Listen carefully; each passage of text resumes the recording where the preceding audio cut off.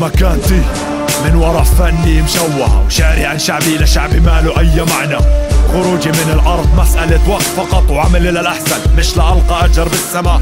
بس بدي مكان أضمن فياته حق ابني. أنا مش قاتل بس قادر أجرم. من أجل حقي. عشان وطني قلمي قاعد بكتب باسمي بديش مجند إسرائيلية تمنع دفني بوطني بدي أندفن. بنفس المقبرة اندفن فيها جدي ومن طفولتي بحلم لما أكبر أصير جندي. مع الوقت اكتشفت لمين بدي أنتمي. محمود عباس فتح حماس ولا جبهة.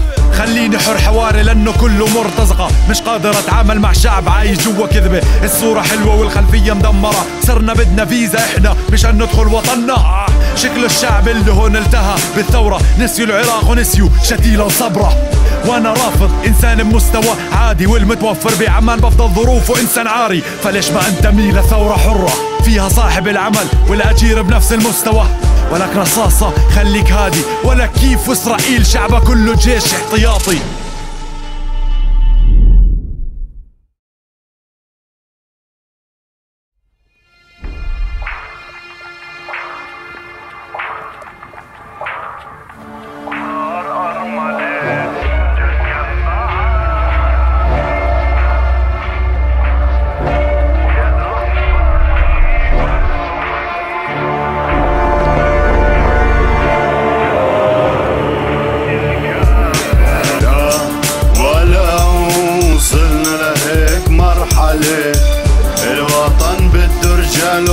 وطننا صار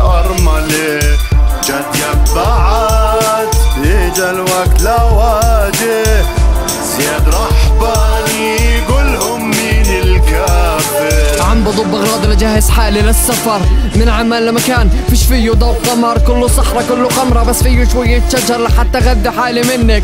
أنت يا طبيعة بنموك سريعة. فما بتتهني بعمرك لأنه بيعملوا عقصك فحقك عندي من كل هالكفرة اللي ما بيأمنوا بوجودك. سيدي كان عنده طيارة وكان دايما يصونك. بس لما أخوات الشرموط احتلوا البلاد أخذوكي. وعاش سيدي ومات وهو عم يحلم فيكي عم بجيكي. أنا هسه لا أشكي لك همي لأني حسيت في تشابه ما بينك وبيني. مشاريع عمان عم ترميكي وترميني يا ارض احتضنيني ولا جواتك. رجعيني لأنه كل هالبنى اللي فوقك عم بيزيد وجعي صار نفسي أصير غجري. من خيمة لخيمه لأنه مكانتي بهالمجتمع. ما في إلها أي قيمة. نفسيتي مش سليمة. نفسيتي ماكله خرر انا انتكنا على الفرة ولساتنا عم نرجع لورا. فبعد اللي صار وبعد اللي هيصير بطل يفرق شو المصير. مقتول أو أسير. ما زي زي كل واحد رماته الدنيا بالقاع. وحرمته من الاستمتاع. وحكمته إنه ضاع. بس الفرق الواحد إني راكع إيقاع.